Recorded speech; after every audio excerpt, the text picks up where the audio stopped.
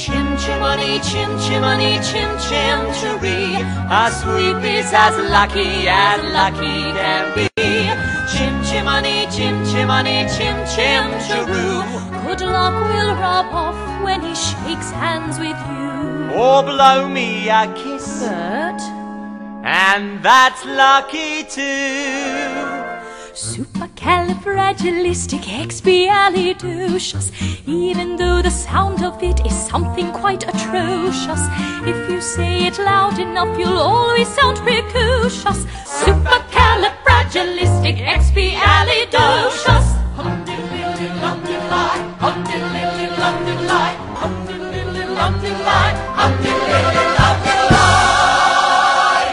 You can say it backwards, which is suoicodilaipxecitsiligarfilacrepus. She may be tricky, but she's bloody good.